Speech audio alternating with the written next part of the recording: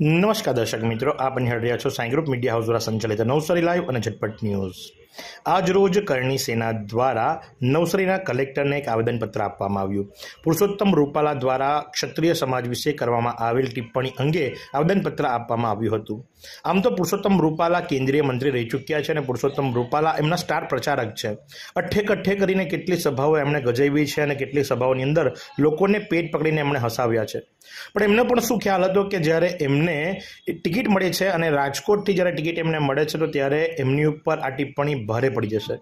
અનેક તર્ક વિતર્કો ચાલી રહ્યા છે. એ દરમિયાન આજરોજ કરણી સેના નવસારી ગુજરાત દ્વારા જિલ્લા કલેક્ટરને આવેદનપત્ર આપવામાં આવ્યું છે અને આવેદનપત્રની અંદર એમણે સ્પષ્ટપણે લખ્યું છે કે હાલમાં સમગ્ર દેશમાં લોકસભાની ચૂંટણીનો માહોલ છે અને આ લોકસભાની ચૂંટણીના પ્રચારમાં આવેલા ભાજપના વરિષ્ઠ નેતા પુરુષોત્તમ રૂપાલા દ્વારા એક સભામાં ક્ષત્રિય રાજપૂત સમાજ વિશે નિમ્ન કક્ષાની ભાષાનો ઉપયોગ કરી સમાજ વિરુદ્ધ ટિપ્પણી કરવામાં આવેલ છે.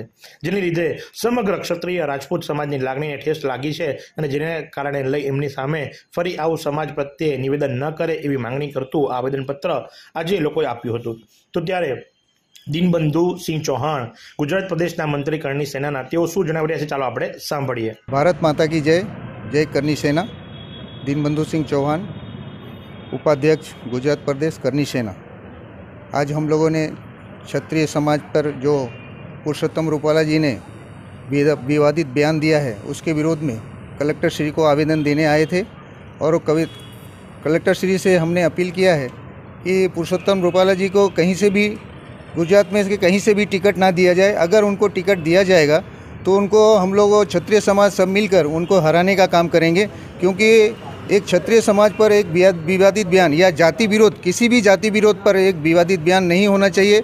हम सरकार श्री से यही अपील करते हैं, राज्य सरकार से भी यही अपील करते हैं। हमारे नरेंद्र मोदी जी ने सबका साथ, सबका विकास की बात करते हैं और उनके केंद्रीय मंत्री, वरिष्ठ नेता एक समाज के ऊपर उठाने के और एक समाज को नीचे गिराने का काम करते हैं। ये हम लोग कभी भी स्वीकार नहीं करेंगे और इसका हम लोग पुरजोर विरोध करेंगे और आगे भी विरोध करते रहेंगे। राजकोट सीट से उनको जल्द से जल्द हटाया जाए और गुजरात से कहीं भी टिकट नहीं दिया जाए, इतना मांग है।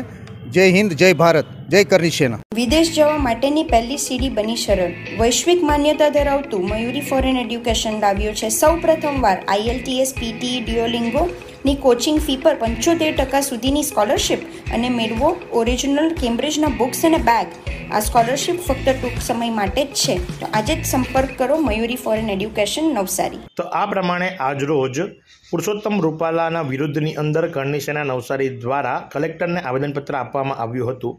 હાલ તો ઘણા તર્ક વિતર્કો ચાલી રહ્યા છે. એમની બેઠક પણ કદાચ છીનવી લેવામાં આવે એવી વાતો ચાલી રહી છે. પણ જો કે અત્યારે એ ચર્ચાને વિરામ આપવામાં આવ્યો છે અને માત્ર એટલું જણાવવામાં આવ્યું છે કે પુરુષોત્તમ રૂપાલા એ જ જગ્યાએથી ચૂંટણી લડશે અને એમણે માફી પણ માંગી લીધી છે. તો ત્યારે આવેદનપત્ર આપવાનો અર્થ નું કેટલું મહત્વ એ તો આવનારો સમય જ બતાવશે. તો આજ પ્રમાણે આવા અવનવા સમાચારો માટે નિહાળ રહો અવસર લાઈવ અને ઝટપટ ન્યૂઝ. શું તમે શાંતિથી ઊભા રહીને વિચારો છો? કઈ ખબર પડે છે કે નહીં? ક્યાં સુધી આપણે ભાડાના મકાનમાં રહેવું છે? હવે તો પોતાનું ઘર લઈએ ને અને એના માટે લોન કરવી પડશે. તો વિચારો કે કઈ રીતે લોન કરાવશું? આટલી બધી ચિંતા કરવાની શું જરૂર છે? આપણી પાસે હિરલભાઈ પસ્તાકિયા છે. હિરલભાઈ પસ્તાકિયા કે જેઓ બીઓબી એસબીઆઈ જેવી રાષ્ટ્રીયકૃત બેંકોમાંથી ઓછા વ્યાજે આપણને હુમલો ન અપાવશે એટલે કોઈ ટેન્શન લેવાની જરૂર નથી. મારી હિરલભાઈ સાથે વાત થઈ ચૂકી છે અને હિરલભાઈએ મને કીધું છે કે મહેશભાઈ કોઈ ચિંતા કરવાની જરૂર નથી. ડોક્યુમેન્ટ્સ આપો અને લોન મેળવો. એ પણ ઓછા વ્યાજે અને રાષ્ટ્રીયકૃત બેંકોમાંથી. તો તમને પણ કહી દઉં છું કે જો તમારે હાઉસિંગ લોન લેવી હોય તો કોઈ ચિંતા કરવાની જરૂર નથી. સ્ક્રીન પર દેખાતા નંબર ઉપર હિરલભાઈનો સંપર્ક કરો. આપને પણ ઓછા વ્યાજે અને રાષ્ટ્રીયકૃત બેંકોમાંથી સીધી હોમ લોન મળી જશે.